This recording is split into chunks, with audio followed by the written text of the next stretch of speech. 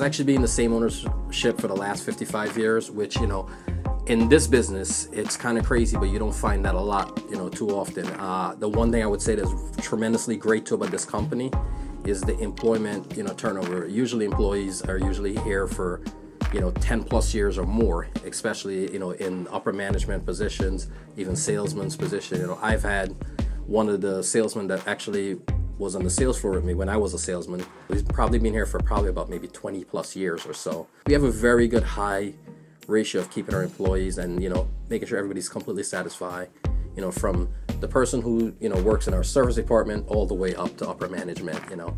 The first store that was actually here first was actually the Nissan store. And, you know, we've expanded you know, tremendously with good brands, you know, anything from our Nissan to our Subaru and our, uh, we call Hyundai brand as well.